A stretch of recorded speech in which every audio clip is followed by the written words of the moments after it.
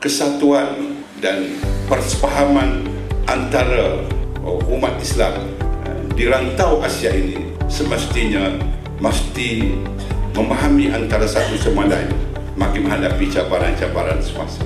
Terutama kita tahu bahawa musuh-musuh Islam sentiasa berusaha untuk memasukkan jarum-jarum mereka bagi memecahkan lagi perpaduan umat Islam. Mereka tahu seandainya umat Islam bersatu satu soft yang yang hebat, mereka akan gagal.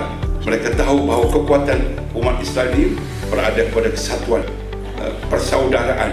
Jadi sebab itulah kita merasakan bahawa ijtimak yang kita ada bahawa ini merupakan satu ijtimak yang sangat penting. Dan khususnya kita kita buat ijtimak ini berlangsungnya ijtimak di negeri Kelantan Darun Naim. Setelah kita diberi kepercayaan oleh rakyat Kelantan lebih daripada 27 tahun untuk memerintah dan mentadbir di Kelantan ini dengan dasar membangun bersama Islam walaupun kita sebuah negeri yang tidak mendapat sokongan penuh daripada pemerintahan federal, kita dapat bertahan.